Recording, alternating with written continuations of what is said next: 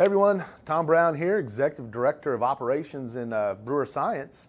And this is part of a series that we're doing, and it's called The Three Pillars of Impact. Uh, in the last episode, we talked about courage to challenge. Now we're going to talk about expect excellence, and then next time we'll talk about empower others. Um, so let's go. Uh, expect excellence. So don't confuse expect excellence with seeking perfection. Okay? It's not about being perfect but it's a mindset that focuses on the journey and the approach more than the outcome. So when I get into this, we're going to talk about kind of three things, right? One is don't confuse the goal with the process. The other one is expect excellence in yourself and others, and then create a shared vision.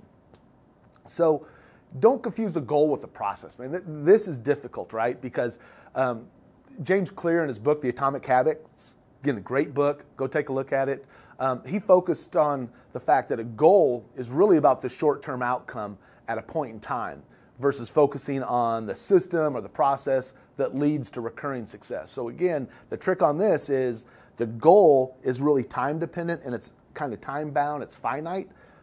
But if you focus on the process, it's really about that success that's going to recur time and time again.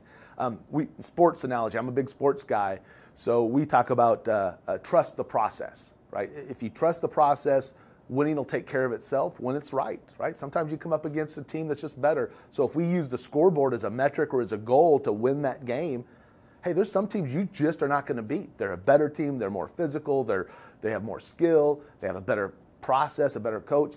It's just not going to happen, right? Um, and that's fine. That's that's life. But if you can improve and you can develop and you can play your game, do it the right way with the right effort, that's really what you're looking for as a coach and as a leader. You want to see that progress over time. That's going to put them in a position to win, in a position to compete to win. And that, that's really what we have to do. We, and you see a lot of times on individuals, again, coming back to scores, where all they look at is who's your leading scorer, and they think that's your best player. A lot of times it's not. They're just the person that's the recipient of the process. It, maybe it's that person that moves the ball or sets the screen or does the dirty work out there, the glue guy, we call them that helps your team be successful. So, again, it's really important that you don't confuse the goal with the process. And again, I like to talk about the pursuit of excellence as a mindset, it's kind of a culture. And, and just a little thing to throw in there. Um, a lot of people say, hey, never be satisfied, right? That, that's a big push you see on people. Never be satisfied with where you are. In the sentiment, I, I got you. I'm with you. But if you don't take time to enjoy it, to, to take satisfaction in what you've accomplished or the effort you've put out, man, that, that, that, that's bad, right? Because at some point you're going to start getting burnt out and, and you're never going to take that chance to enjoy what you have. And it's always going to be something has to be better and you're going to push yourself. You're going to see a lot of burnout, especially in the young folks. So we take time to celebrate, right? Every team can celebrate a victory. You celebrate something you've done. Man, be, be happy about that.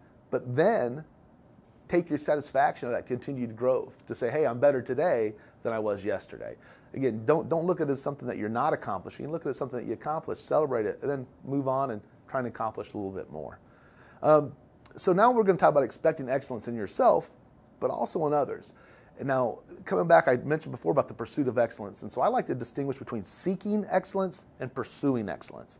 Now, it may not be a big deal for a lot, maybe semantics, but for me, it really, really hits home. I, I use this as a great way to kind of see the difference. So, seeking, right, you see it. I'm thinking about that's always like you're seeking an end state. You're trying to get to an outcome, right? You're trying to achieve excellence. So, when I think about seeking excellence, it's like you're trying to find it. That's kind of how I view those things, like it's something to find. Where if it's pursuing, I think of pursuing as the pursuit, right? The journey, the chase and for that, and it's all about what you're doing, right? It, it's about the pursuing, the, the activity, the, the thing that's moving you forward. So that's kind of how I look at it, is seeking and pursuing versus achieving something, acquiring something, the goal, versus pursuing it, which is really about the journey and the process. So when we do those things, man, communication about what excellence is, that's fundamental. So that definition, and we're going to talk about that um, later on, on Empower Others, but we also kind of touched on that a little bit um, in, in, the first one too, on that courage challenge about how you communicate, how you ask your questions. You, you got to make sure that you have this connection, right? That you know where you're going, the journey's understood. Um, because if not, man, you're gonna have a lot of frustration, and then that's gonna make it difficult when you're trying to to measure excellence. Uh, high standards, accountability, man, that's tough, man. It's not always popular to do those things, right? The kids don't like the coaches until later on, right? You don't like your teacher because they're making you do certain things. You don't like your boss because they're expecting to, to do certain things and maybe you're not equipped yet. But later on, you're going to look back and go, man, those people, they, they expected that of me. They, they had high standards for me. And you're going to appreciate what they've done.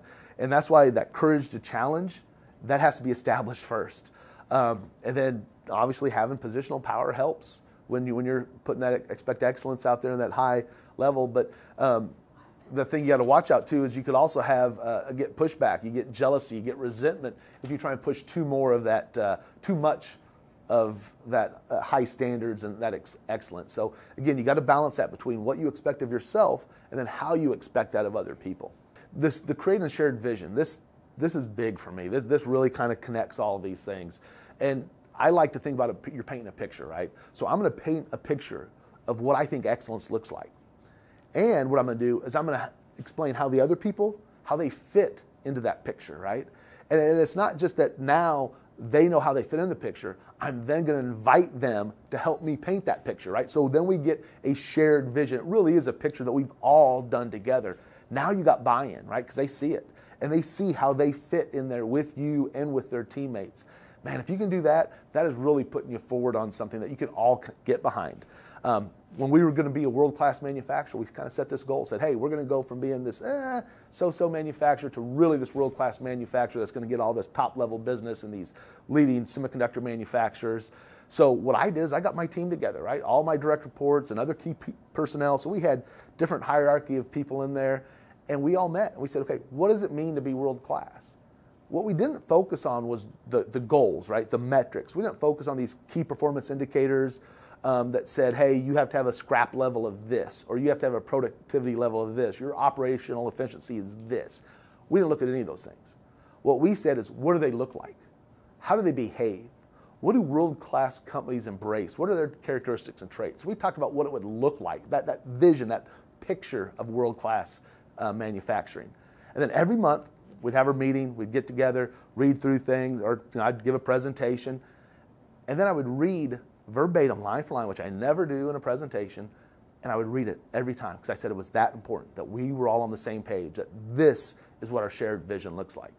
And then as we progressed, then I'd start opening up and I'd ask the audience, say, hey, you know, there's 200 people in this, this uh, auditorium we have. I'm saying, hey, did we do this? Did we hit this shared vision right here? And they would say yes. And if they did, we'd celebrate. We'd clap. We'd like, hey, way to go, guys. They, uh, we're, we're, we're doing that.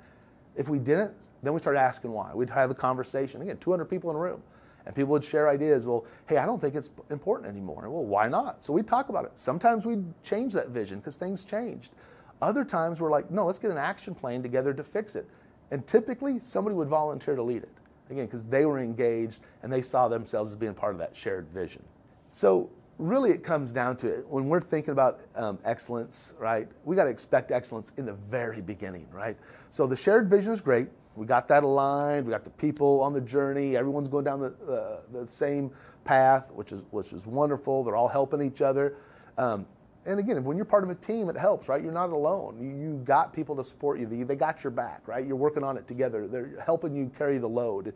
Um, but what happens when you got someone new, right? So again, it's easier when you've came up in it and you created this excellence, right? And you're part of that process. But what about when you bring a new player on the team? right? You got a new classmate. So you got to be upfront with them. You got to be clear. They got to know what they're getting into and what you expect of them. And that again can be challenging. We've already worked on that though, right? How the courage to challenge, how you can engage them, and then the other thing I want to leave you with is, okay, who do you surround yourself with, right? So when you're bringing these people on, you know, when you look at who you're around, your six people that are around you, who you spend your most time with, a lot of times that's going to reflect you. That's going to reflect your potential, your values. So you got to take a look and say, am I bringing the right people on to this team? Am I hanging out with the right friends after school? Um, is my workplace the right people I'm surrounding myself that are they're going to achieve the similar things that I want to achieve? So those are things we've got to take a look at, especially when you're going to expect excellence uh, from others.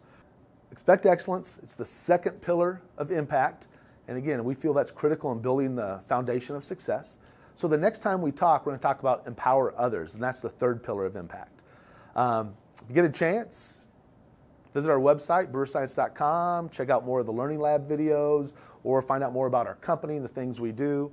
Uh, if you like what I had to say, take a look at my blog, beyondtoday.blog. Uh, got a lot of things in there about leadership, about sports, about life, growth. Hopefully, it'll be something that you can take away. I want to thank everyone and remember that the journey of excellence is not easy and it's not, not for everyone. It really isn't.